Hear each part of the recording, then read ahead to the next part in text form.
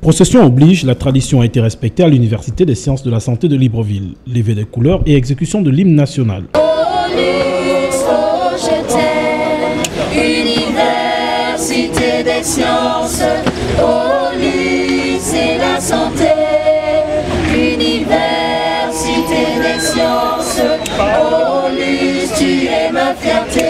C'est la rentrée académique 2014-2015 qui annonce ses couleurs au sein de ce temple du savoir. Faculté de médecine et des sciences de la santé pour témoigner à nouveau de l'importance que nous attachons à la rentrée académique au sein de notre université.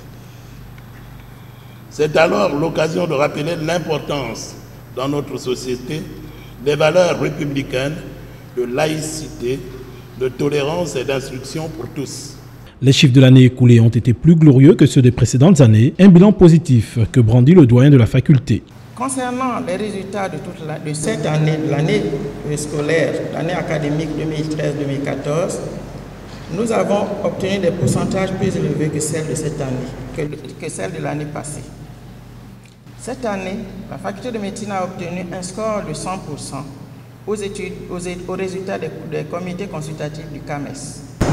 La leçon inaugurale pour cette année académique a été donnée par Jean-François Tardin, directeur général de l'Agence des bourses du Gabon sur le fonctionnement et l'acquisition des bourses. Un hommage a été rendu au professeur André Dieudonné Moussavou Mouyama, ancien recteur de cette université qui avait passé le témoin à Paul-Marie Louambé. Le début de cours dans cet univers du savoir est prévu pour le 27 octobre prochain.